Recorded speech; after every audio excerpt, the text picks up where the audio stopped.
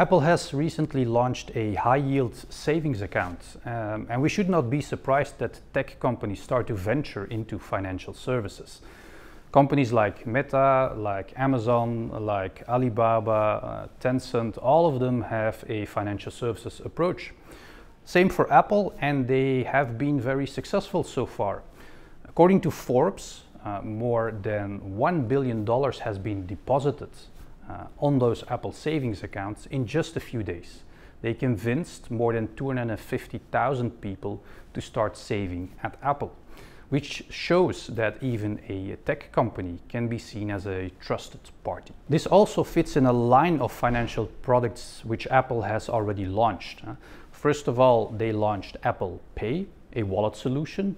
Next, uh, they have the Apple credit card together with Goldman Sachs. They also have Apple Pay Later for those people who shop online and need credit at checkout. And now they have launched Apple Savings. So it fits into their entire line of financial services products. What Apple is doing is not surprising. They are a strong ecosystem player. So what they are doing is at the core, they are a production company. They make devices, iPhones, iPads, uh, all sorts of devices, and then they partner with third parties to complement uh, whatever their core offering is. Exactly the same for this Apple savings account. They partner with a bank, with Goldman Sachs, so they don't take that financial services risk. In essence, it is a uh, Goldman Sachs account, so they basically shift the financial services risk to the third uh, party. Um, this is what Apple does. This is what many tech companies typically do. They have their own core offering and then they look to third parties for complementary products and services. Today, Apple's financial services offering is mainly focused on the US. If we compare to Europe, we only have Apple Pay available, but no credit cards, no buy now, pay later solution, no Apple Saving. And there's a reason for that, because the US is a homogeneous market. You can partner with one company, Goldman Sachs, and cover the entire territory. That's not the case in Europe. Banking is still a very local business, a national business. So if they would come with these financial products uh, to Europe, they will have to partner with each of the different local banks.